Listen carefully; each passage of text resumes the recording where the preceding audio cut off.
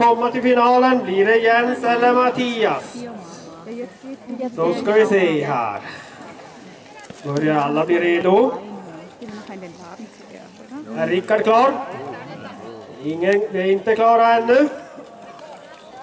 Klara, färdiga, kör! Och där är starten igång och det är Mattias som tar ledningen där. Jajamän, och får passera Vinbergskurvan där och då är oerhört spännande. Det är Jens, han har en liten ledning där. Det kan bli ett fotofinish här, väldigt svårt att se vem som kommer vinna här.